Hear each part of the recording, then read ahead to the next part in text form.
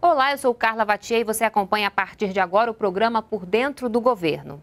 O Minha Casa Minha Vida mudou e agora pode chegar a qualquer município brasileiro, inclusive aqueles com menos de 50 mil habitantes. A secretária nacional de Habitação do Ministério das Cidades, Henriqueta Arantes, explica por que o governo decidiu alterar as regras.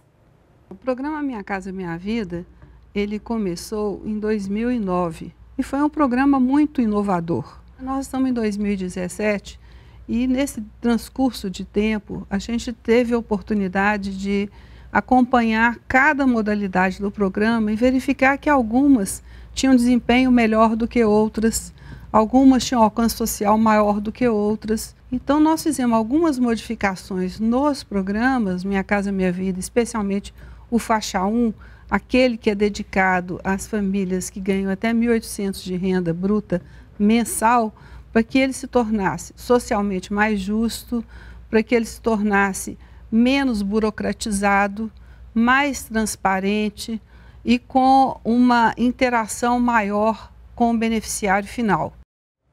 Quer saber mais sobre algum projeto ou ação do governo federal? Então escreva para a gente, anote aí por dentro do governo, arroba presidência.gov.br. Informe o seu nome, a cidade onde você mora e mande a sua pergunta. Até a próxima!